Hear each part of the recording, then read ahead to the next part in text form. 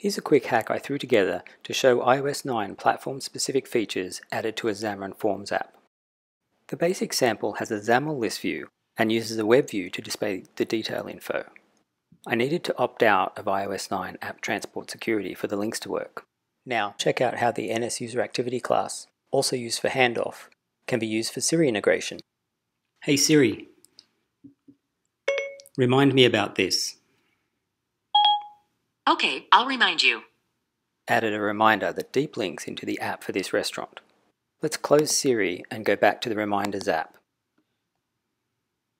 If I tap on the icon, I go directly into the app restaurant page.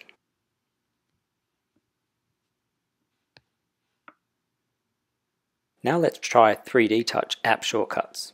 There's only one implemented, which displays a random restaurant from the collection. Clicking on it deep links into the app.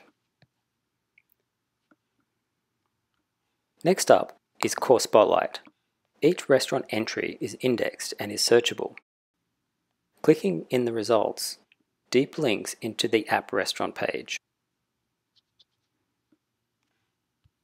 And finally, Xamarin Forms layouts work great for iPad multitasking. Just add a resizable launch screen and you should be good to go. Xamarin Forms lets you build great cross-platform user interfaces, but you can still add cool new platform features like these iOS 9 APIs. Here are some useful links to get you started.